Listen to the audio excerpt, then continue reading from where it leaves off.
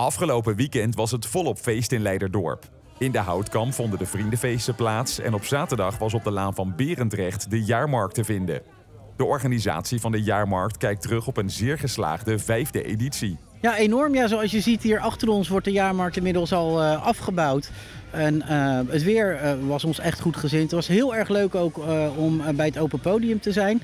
De allereerste keer was er een cultuurplein op de jaarmarkt. En Jesse die heeft hem gewonnen. die won 100 euro met zijn pianospel. Hij deed een Queen medley.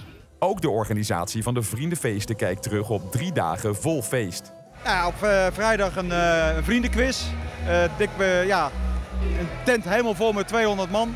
Uh, op, vrijdag, of op zaterdag, uh, s'avonds uh, een band en uh, de Disco Classics. Dit keer met Brommers Kieken erbij. Fantastisch. En ja, en op zondagmiddag de Unity NL tournee. Ja, fantastisch. Je hoort het. Mooie muziek.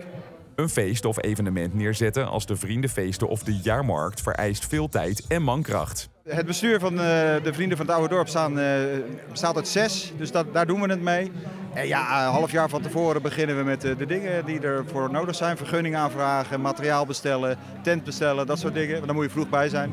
Ja, en de laatste maand is natuurlijk topdrukte. De, de laatste dagen, ja, dat is crossen hier door dat park met, met, met, met bakken en, en nou ja, van alles en nog wat. De leveranciers die opgevangen moeten worden. Ja, dat is gewoon een hartstikke leuk uh, iets. De Leiderdorpers vinden zo'n feestweekend wel passen in het dorp. Ik denk voor de middelmaat van de leeftijd van Leiderdorp, ja, de mensen. En als ze nog meer willen, dan gaan ze naar Leiden toe. Nou is toch gezellig, allerlei culturen door elkaar heen. En mijn kind zijn verjaardag. Het plan van de vriendenfeesten is dan ook om ieder jaar te blijven groeien. Kan niet anders zeggen. Gewoon nog grotere gezelligheid, grotere tent, nog meer uh, fruit uh, eromheen. Echt een heel leuk festival in Leiderdorp.